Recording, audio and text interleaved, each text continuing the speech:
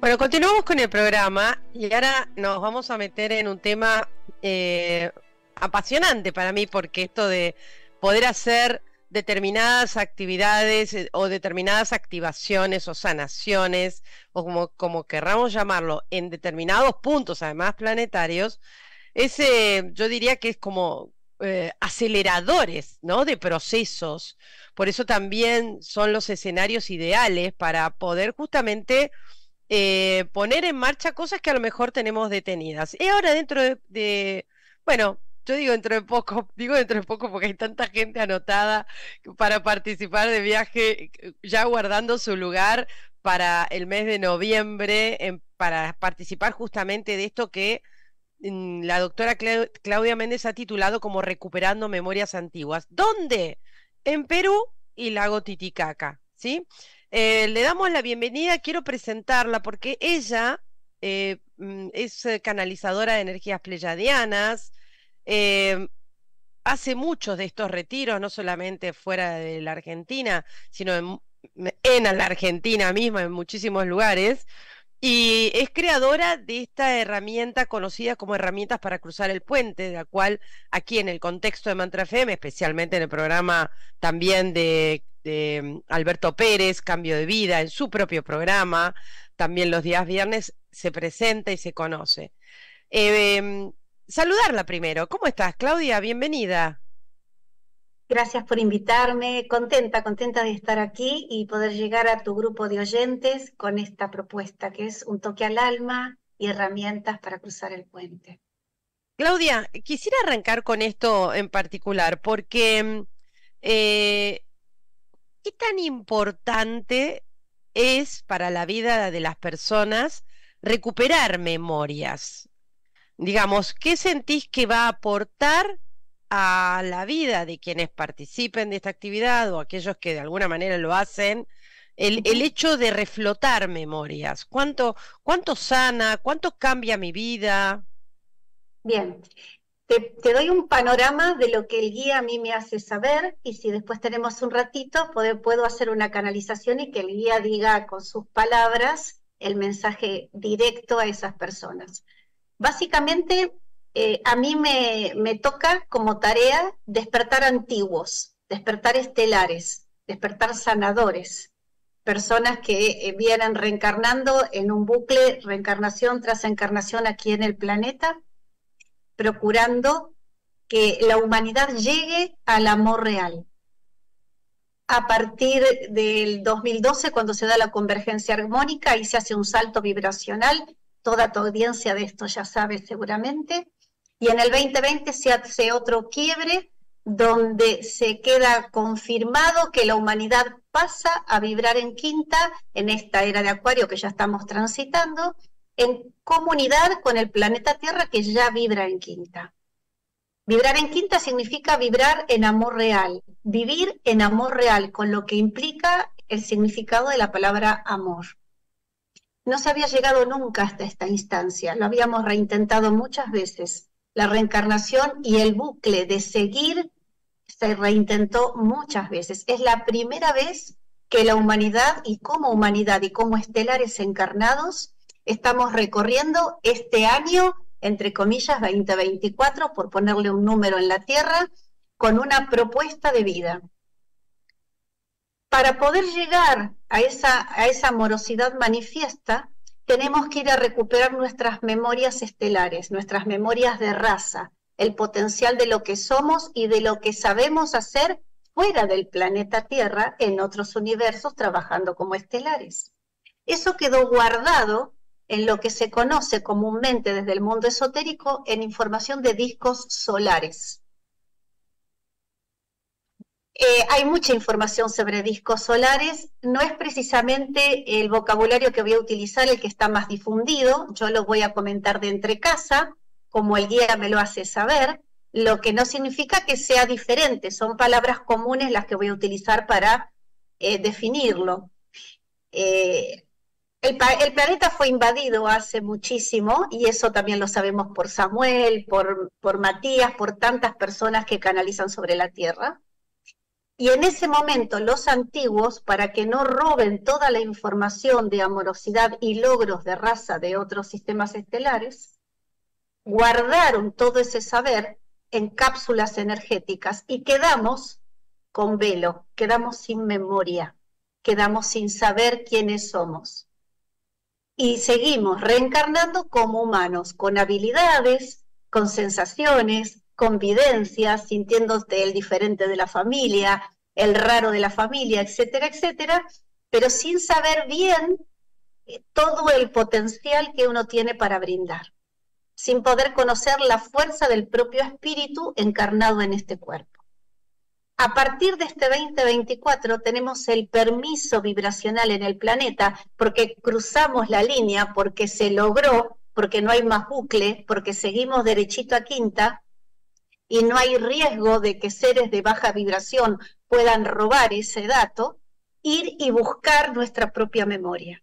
¿Dónde la vamos a encontrar? Conectada con esos puntos geográficos fundamentales que están los discos solares conocidos. Eh, para eso hay que prepararse, lo podemos hacer en persona, también lo podemos hacer a distancia porque el tiempo no existe, las distancias, todo es omnipresencia para un estelar.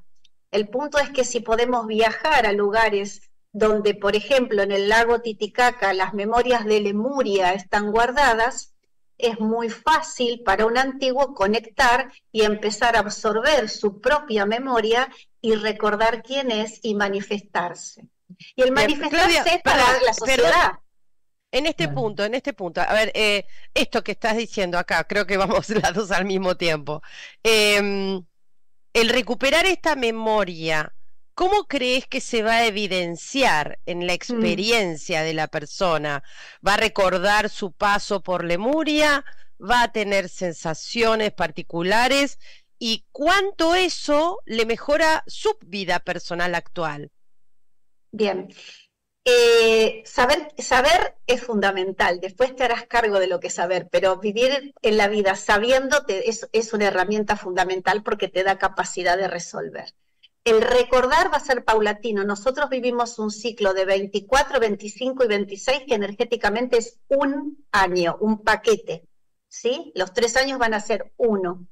Este 24 es el, son los primeros pasos, por eso el primer retiro que hago en Bariloche en abril se llama Primeros Pasos para Reconocimiento del Ser y lo culmino a lo largo de todo el año que haremos otros viajes con Grace también, donde terminamos en Perú donde todos los que tengan la dicha de poder sumarse van a ir absorbiendo en cuotas eh, eh, eh, desde esos discos su esencia.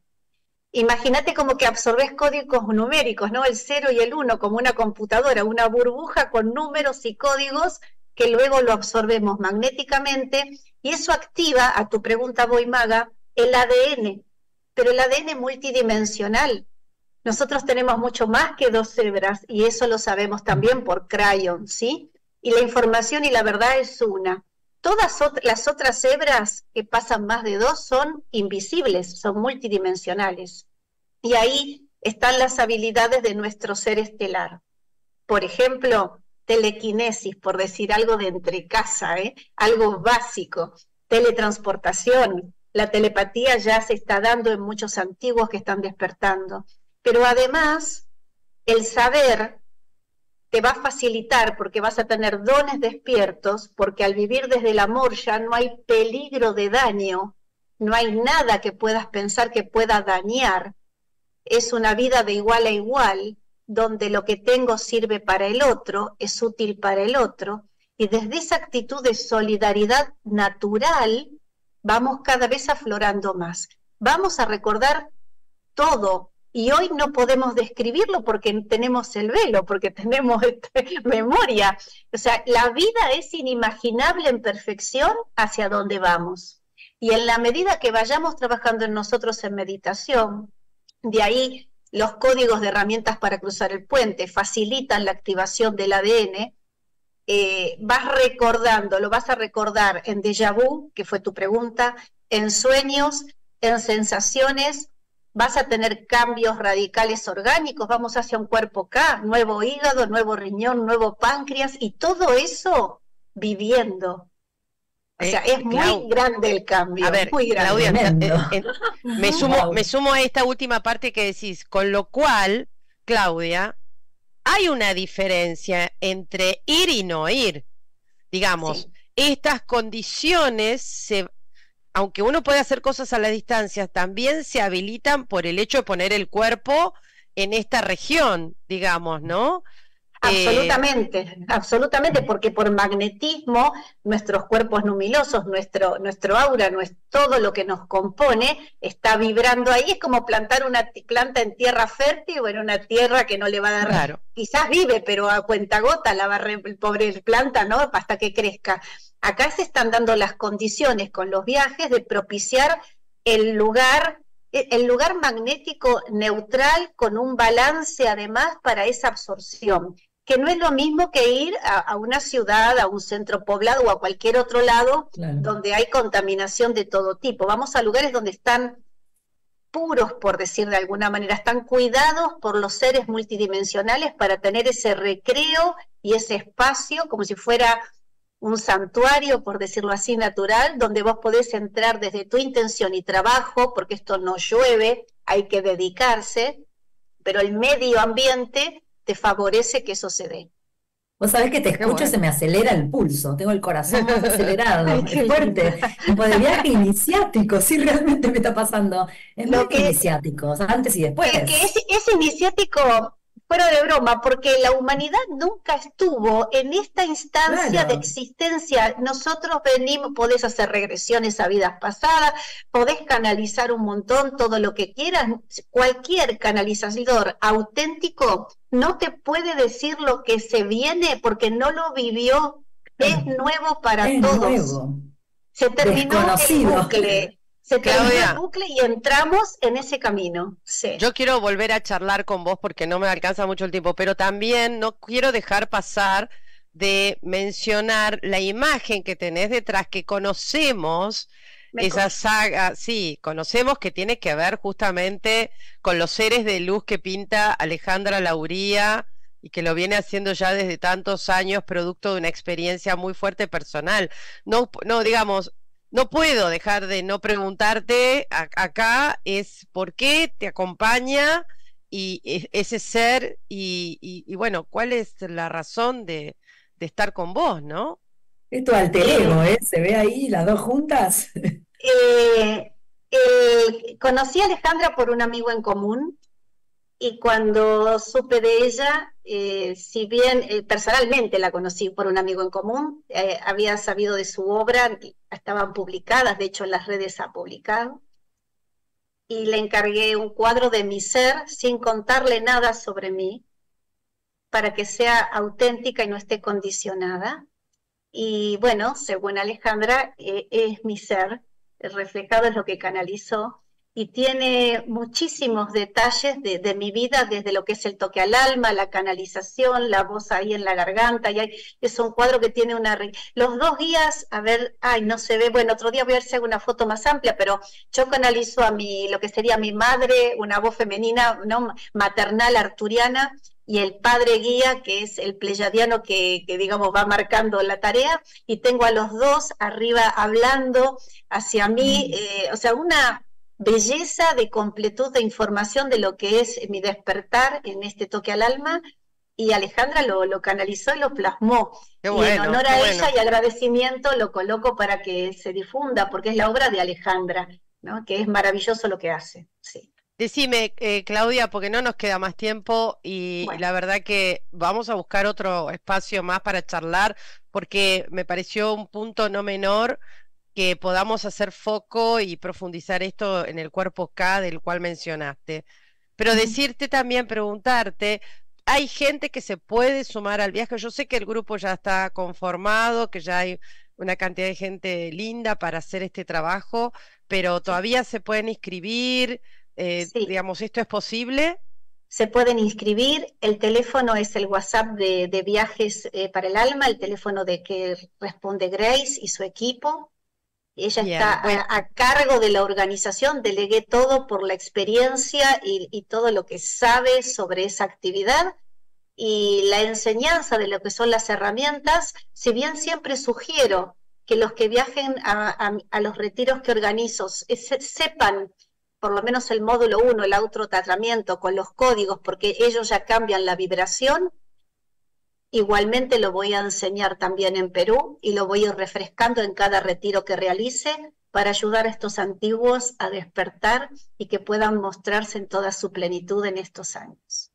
Bien, bueno, vamos a hablar también en otro encuentro de, no solamente el cuerpo K, sino la, la, fuerte presencia de la energía pleyadiana en esta zona, ¿no? También el, porqué de elegir este lugar habiendo tantos otros, pero amerita para otra charla, Claudia. Eh, quiero dar el móvil de, de, Viajes del Alma para aquellos que quieran sumarse. Es del 6 al 16 de noviembre. Eh, falta, pero creo que esto da muchas posibilidades para la gente de participar. El teléfono es el más 54 911 64 43 48 04. Creo que tenemos un flyer por ahí que le pido al operador que por favor si quiere lo publique para que pueda estar la imagen visible y los datos completos. Y, Claudia, cerrando un poco así esta, esta charla que me pareció como súper reveladora en cuanto a a la propuesta en sí, em, el giro que este se va a dar, digamos, el, giro en la vida de las personas y un poco lo que venimos charlando con las nuevas energías que hay a nivel planetario, si bien es individual, pero tiene un carácter, diría yo, planetario y grupal, ¿no? Porque, digamos, vos esto también lo puedes hacer en Buenos Aires, en otro contexto igual, sin embargo, se elige también un epicentro planetario donde ejecutarlo, por decirlo de una manera, y expandirlo, ¿no? Irradiarlo. Me, me toca comenzar por Argentina, que el guía la llama cuna del mundo. Argentina, la madre de la humanidad y la que va a recibir y va a albergar a, personas de todo el planeta. Va a haber migraciones en masa, lo podemos hablar en otro momento, y eso es información canalizada. Estos no son mis recuerdos, es lo que el guía enseña en canalizaciones, ¿sí? Y el, comenzamos desde el punto, digamos, más austral en Argentina, eh, que tiene conexión también con otro disco solar. Bueno, el primero está acá en la Antártida, pero hay otros en otros lugares, también en África, por eso me ubica en Bariloche en el primer retiro y otros que vamos a hacer a lo largo del trayecto de Argentina. Deseo hacer también con Grace algunos viajes más y terminamos con ella en Perú y son puntos estratégicos de comunión con la fuerza de Gaia para despertar a los estelares.